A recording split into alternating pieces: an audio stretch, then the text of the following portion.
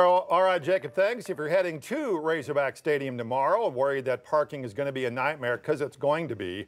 City of Fayetteville does, though, have a game day bus route set up that they're hoping will make getting to and from the game just a little bit easier. Fans can park at any city managed lot or deck and then catch a bus ride from there at the Fayetteville Library, Walton Arts Center, or even the downtown square.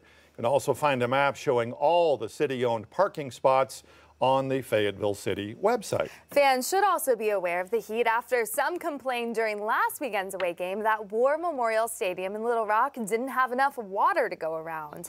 Now that this is a home game, here's what the U of A told us. If you have an empty disposable water bottle, you can bring it in.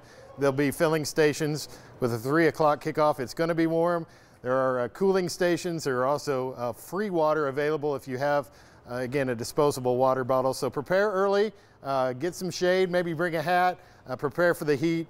But it's going to be a great day at Razorback Stadium on Saturday.